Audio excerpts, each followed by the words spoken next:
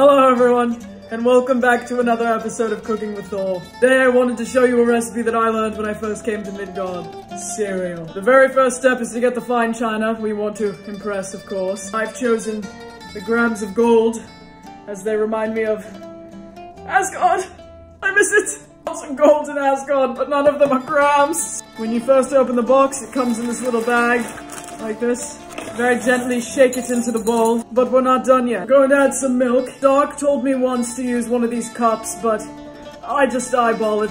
Yes. I always garnish the top with a Pop-Tart. Would you look at that? So good. But that's not all. We need a drink to go with this magnificent meal. Hershey's chocolate syrup. Magnificent. We stir it up. Perfect. Would you look at what a beautiful meal this is. Till next time on Cooking with Thor. I'll see you all later. Cheers.